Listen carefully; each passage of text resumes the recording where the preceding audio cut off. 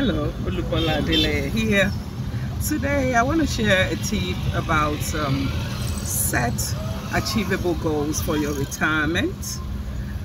It's no matter what age you are, even if you're a youth, even if you're in your 30s, in your 40s, 50s, 60s, no matter what, set achievable goals for your retirement. Because if you don't plan for retirement, a lot of people end up not having what they want because they did not plan for retirement. So set goals. You know, what do you want?